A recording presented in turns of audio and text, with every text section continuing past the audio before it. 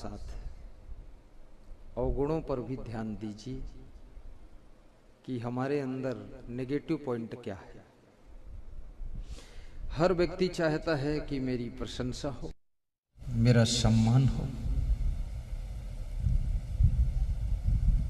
और सभी लोग चाहते हैं कि मुझको लोग अच्छा कहें। एक अवगुण आपकी कीमत को कम कर देता है। और संत कबीर कहते हैं कि मानुष तेरा गुण बड़ा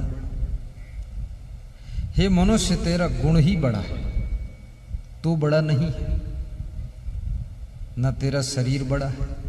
तेरे शरीर से तो हाथी का शरीर बहुत बड़ा है। पर चरण की पूजा जब होती है तो मनुष्य के चरण की पूजा होती है। हाथी के चरण पूजे नहीं जाते। हैं भगवान राम थे, मनुष्य के रूप में ही थे। कृष्ण भगवान का रूप देखो तो मनुष्य का रूप है।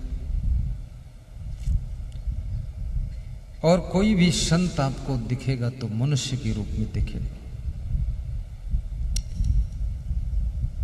मानव के रूप में हम आप सब दिखाई देते हैं, लेकिन कुछ लोग मानव से महामानव बनते हैं।